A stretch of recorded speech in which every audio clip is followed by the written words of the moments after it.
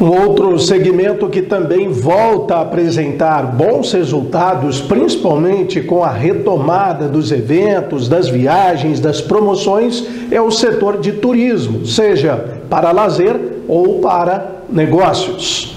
Matar saudade da praia do Iguape e das belezas de Fortaleza.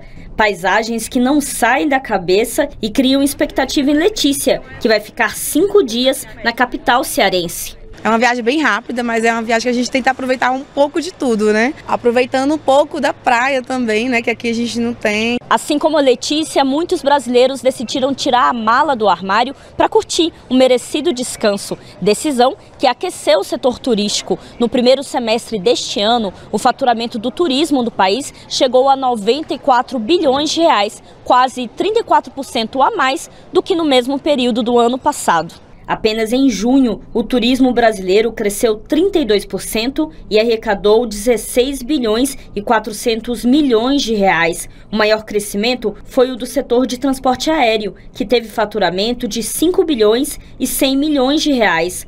O valor é quase o dobro de junho de 2021.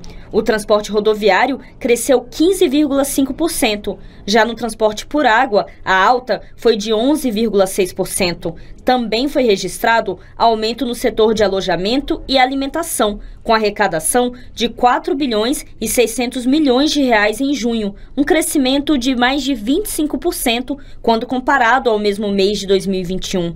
No Ceará, a lotação de hotéis em janeiro e julho deste ano, alta temporada, foi igual à de 2019, antes da pandemia. E a expectativa é que no segundo semestre o estado receba ainda mais turistas. Começamos a ter novamente os congressos, as feiras, seminários, reuniões de empresas que também estão represadas, acumuladas ao longo desses dois últimos anos. Nosso Brasil é muito rico em turismo, né? Então a gente tem que prestigiar o nosso país.